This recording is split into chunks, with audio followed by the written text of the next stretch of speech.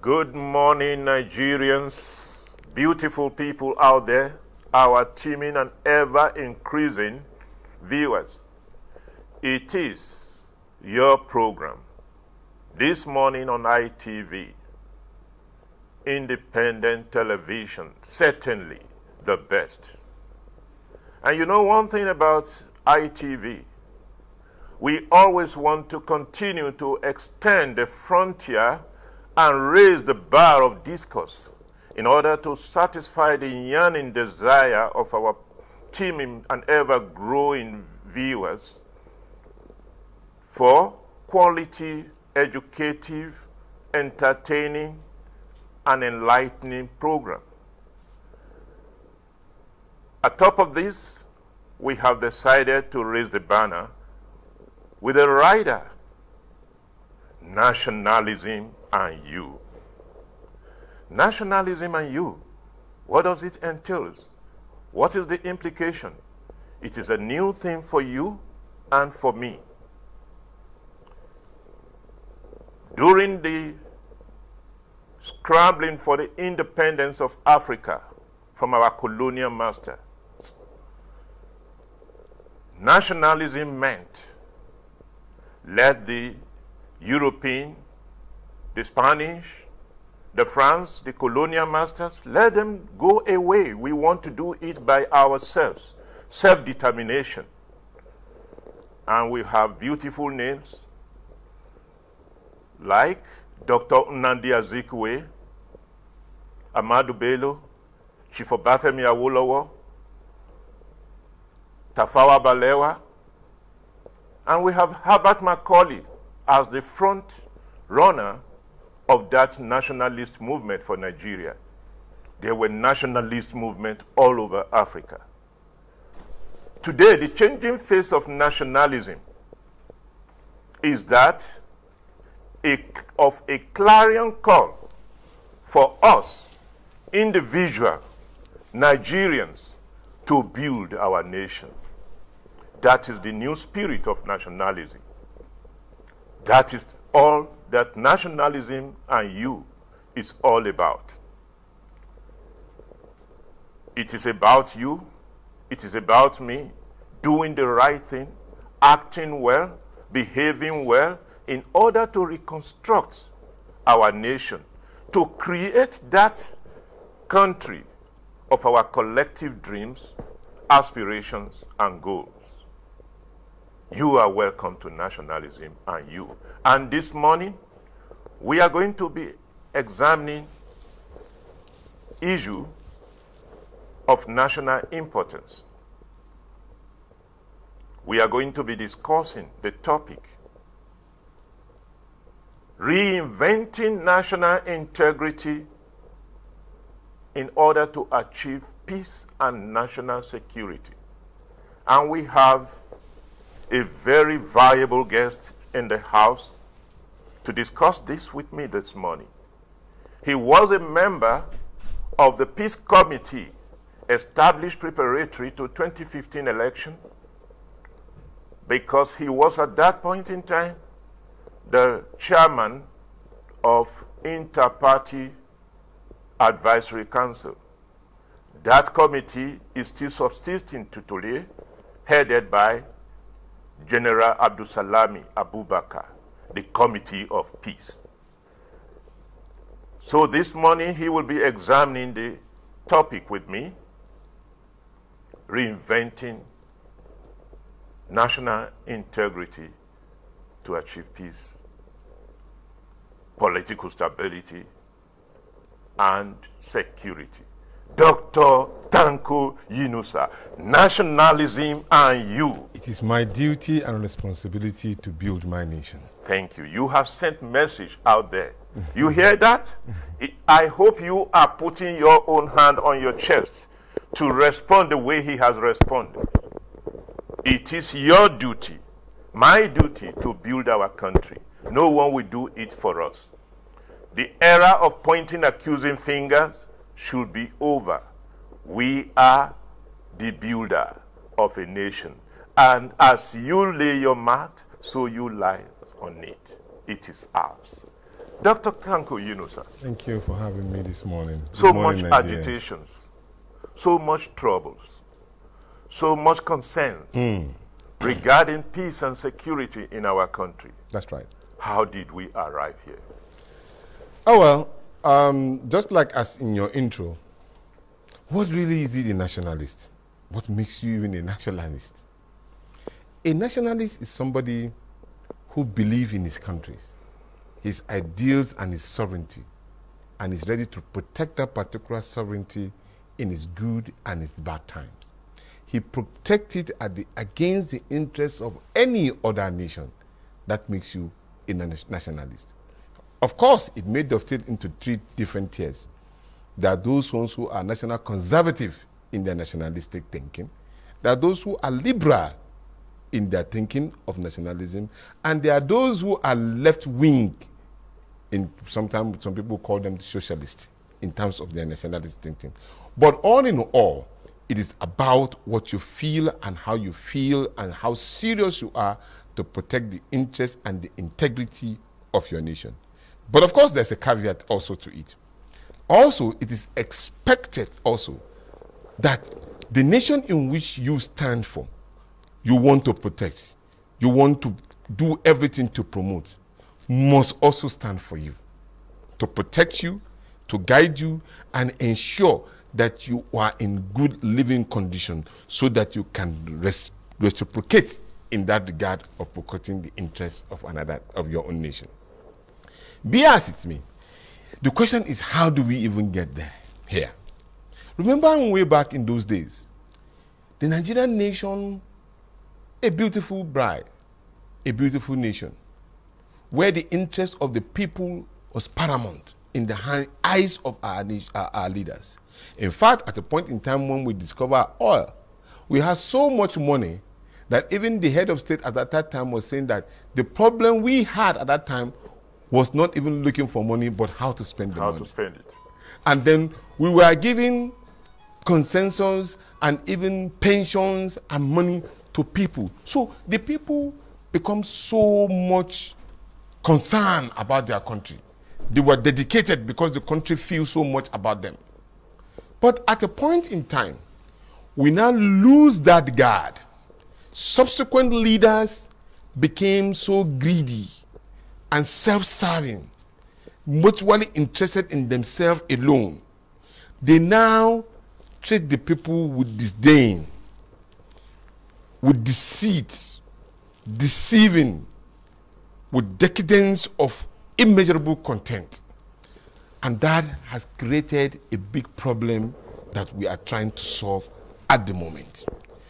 That is where we miss it because we left that particular jurisdiction where our strength was within the people. So, what do you think we can do to reinvent national integrity? National integrity in this context means that we have a nation where each and every one of us believe in the country. It was an American leader that said, do not think of what your country can do for you. Think of what you can do for your country. Exactly. Yes, you, you, you threw up a caveat, and I believe in the caveat.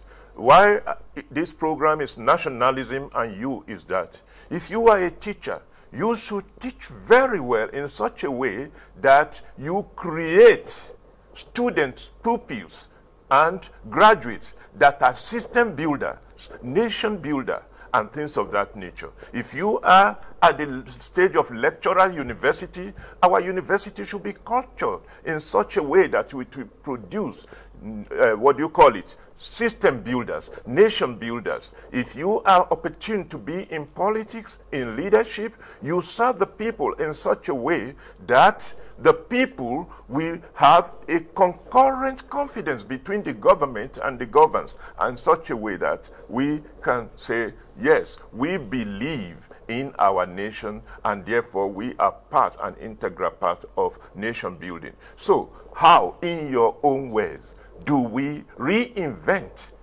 that confidence, that national integrity that will make all the people to say, yes, this nation is worth dying When you reinvent, you've already agreed that there was a system failure. Now, to reinvent means that you are going back to the basis.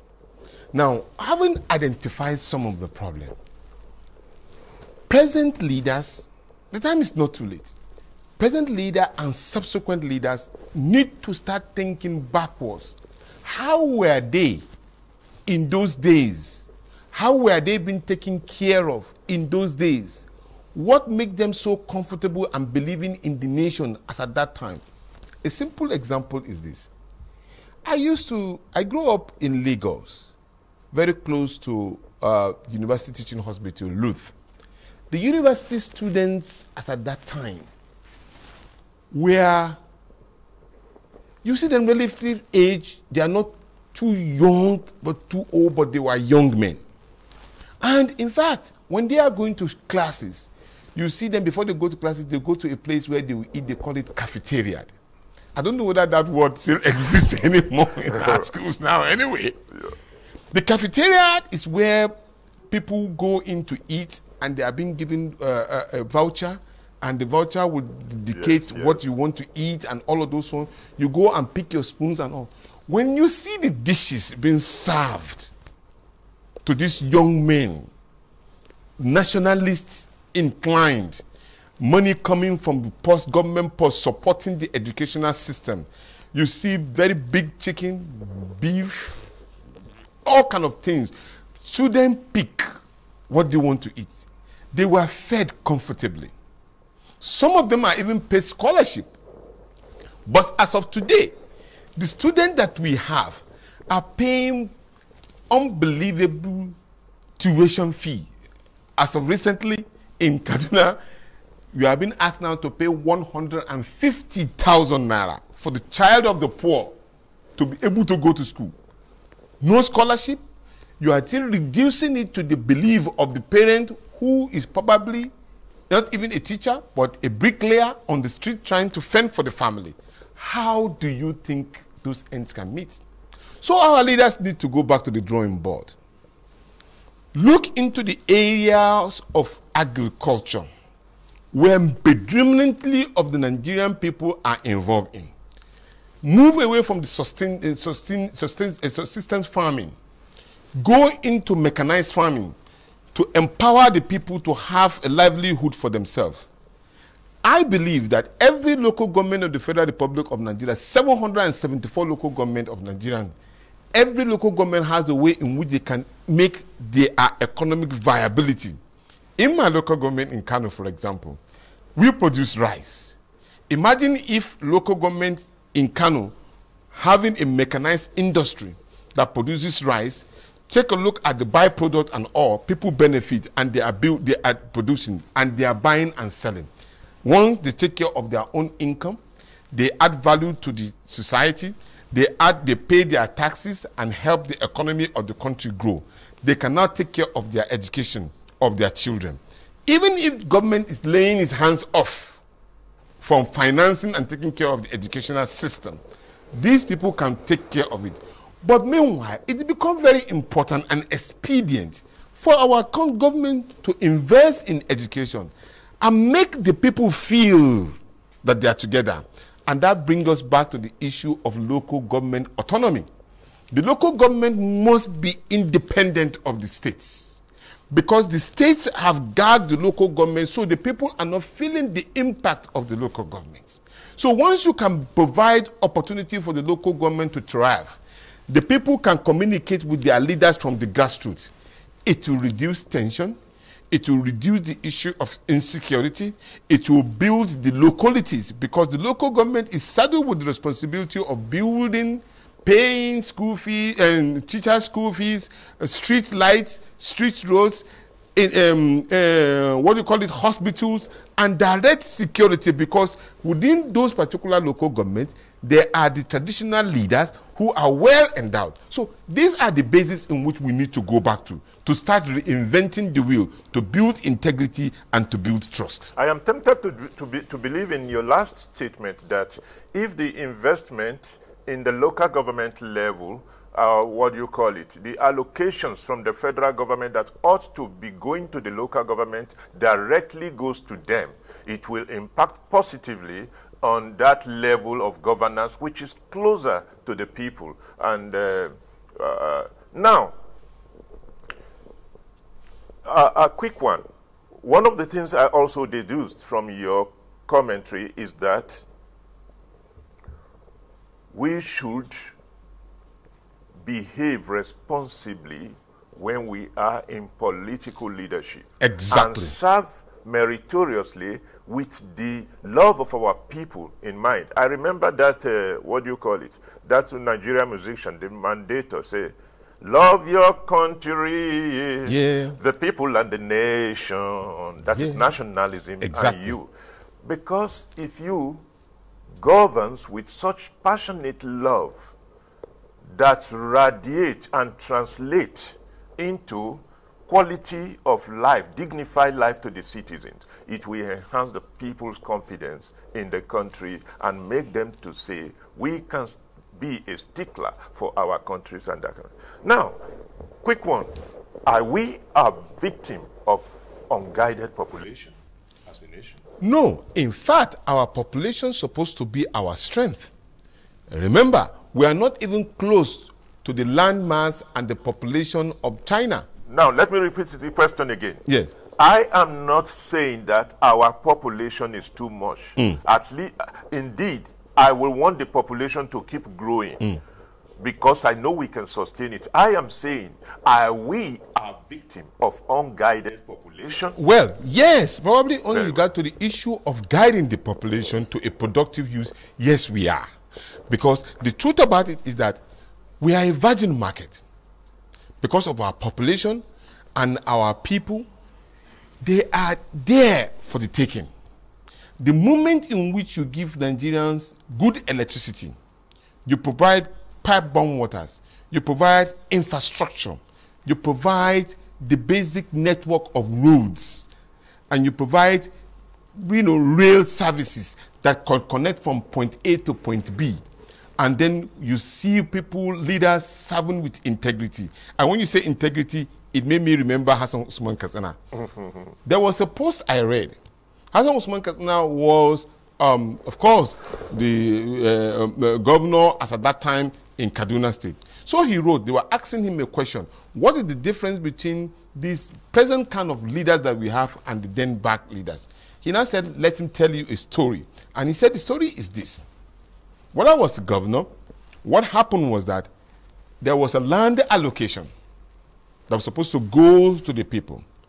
And so it was in the GRA, so it's a choosy area. And when they gave it to the surveyor and all, then they called Hassan Abubakar or so, everybody was applying. He too applied.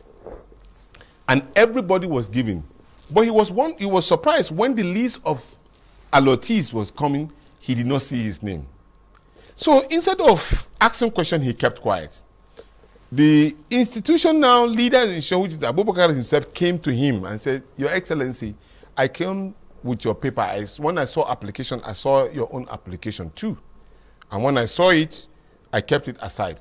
So I came with it to show you that you applied, but I think it is wrong for you to apply because you supposed to look for the in, look out for the interests of your people to ensure that all of them have gotten.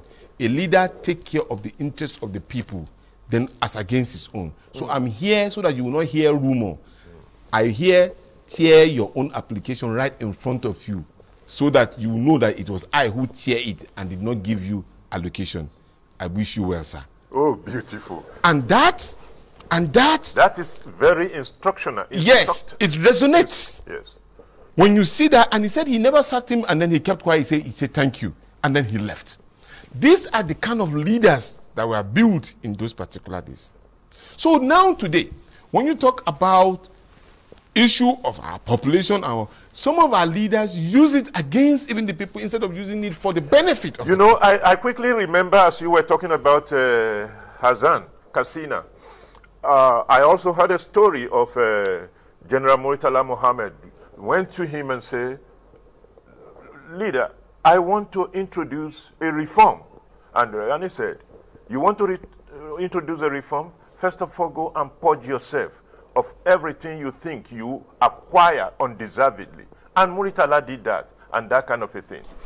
These are the kind of things we should be emulating as uh, people, a nation builder, people that have devotion and uh, what do you call it? Uh, love for, For the, the people. country. And uh, so that our wealth will always be enough for all of us, but it will never be enough for our greed. So those are the issues. Now, reinventing the national integrity. Our youths, you were a member of the peace committee. Our youth has gone ultra vires against us. They are protesting, sometimes in an unruly manner. But can we blame them? Can we blame them? No, we cannot. What do we do to We need- regenerate the confidence of those youths? What we need to do is involve them, not distance ourselves from them. Look, at a point in time in this country, I can authoritatively tell you a child that is born 20 to 25 or 30 years ago does not know some of these stories that we are saying. He had lived a life of a struggle. Since he got out of school, he hardly had a good job that he's going to do. Before he gets that job, he was meant to believe that he has to go through one particular person who knows another person who will give him a note to another person before he can get a job. Or his parents have to pay enormous money. You'll be amazed to know that today, Ebenezer, they are buying job employment at 1 million, 2 million, 12 million, I was and 10 going to talk about that. So, how does How do we get to this level? We, somebody going to university, where he was hearing stories of how his forefathers were enjoying in the university. He went into the university drinking gari and chopping granite, hiding tubers of yam into under his bed so that to look as if he's comfortable, so that his girlfriends and all will not know that he's suffering. He went through all that emotional torture. After coming out of the university, for him to get a job, he hardly can get one. He's still struggling. He knows that even if he put pen to paper, he cannot get an employment. Even in his school, because for him to pass exam, is he has to settle his lecturers to get by. Or if she's a female, she has to go through a lot of intimidation of semi-prostitution Now- to get to this particular level. So these are things that they've gone through and that had created a lot of biasness in their mind. So they came out with that. After coming out with that, now they have reinvented their own way of survival in the music industry. I will authoritatively say they reinvented their way of survival. It was not done by any government or anybody. They got through to music, they got through to uh, music and drama and Nollywood and all, and all. They got into the idea of going into high tech to make for their own. And apart, apart from all of this, having get to this level, they now understand that there is a stark knot of money being given to some high profile individual where a senator or a federal house of representative is cutting away with 15 to 30 million naira where their parents cannot be able to take care of their own intakes just struggling for 30,000 naira. Why wouldn't they be angry? They are obnoxiously angry. And i think our young men have been ridiculously patient with our leaders but today right as you said that some of the agitation is done wrongly. We that we have, we still have our neck, our head on our neck, should get more closer to our youth. Get them involved into a democratic setting. That was why I asked you that question. Hmm. Are we a victim of unguided population? Yes. You know, unguided population in this term hmm. means that it's just like, you know, fa- family is the unit of a society and a country. Yes. If you do not train your children well, if you do not train your children well, they will grow up to be a problem and a liability Exactly. To you. Exactly. So, in order to guide populations, you must ensure that you own and customize your own, what do you call it? School curriculum. Mm-hmm. The school curriculum is essentially to be tailored towards developmental necessities and goals hmm. of the nation. Hmm. And you galvanize your youth to believe in it. You know, Chief Obafemi Awolowo said something that was very instructive. Hmm. He said, the children of the known elite that you fail to educate Exactly. will Come- become a problem mm-hmm. to your own children of the elite that you think you have uh, disparately uh, uh, really educated and things of that nature. And he further said, any wealth that is acquired at the expense of the people, we create a society and a country where one person is eating another. We need to exit this. This is the necessity for the national integrity. What do we do? You know, let me reverse to a story. In the north, when we grow up, then there's a way in which, when we come to our married life, your parents, when you are growing up, Quickly, because our time is going. okay, Yes, yes. when we are going, what they do is that they will marry for you. okay. They take care of the house. In Hausa land, what you are going to marry, you just put up a lot of box and things to the to the bride, but you have a house. It is your parent that will take care of it, just the house, and then they will build it and furnish it. You don't go through stress as a young person. It creates bonds between the family. It creates bond between the family and the parents. Now, today, it is the boy that struggle to do those things that his parents used to do. You can see the disparity. So now, what we need to do is to really make sure that both parents and the child are well tutored in their religious ways because it's a foundation. Reinventions of national norms, norms and values, cultures and culture. yeah, very well. All of these things must be embedded in the Your training. last word to the nation. Nigeria is a country that all of us love, no matter how the pretense, but we want it to work. And we can only make it work when we come collectively to challenge those who have put us in the perpetual poverty. And nationalism and you. It's my duty and responsibility to build my country. Thank you very much, and we hope we will, you will avail us your time again when we call upon you. At Dr. Tanko, quintessential Dr. Tanko Yunusa. Thank you so much for having me. God bless Nigeria. Do not go away. We are still here on nationalism and you. We are going to discuss another interesting topic, and no other person than Dr. Emeka Okegu is waiting for that incisive topic. Stay tuned.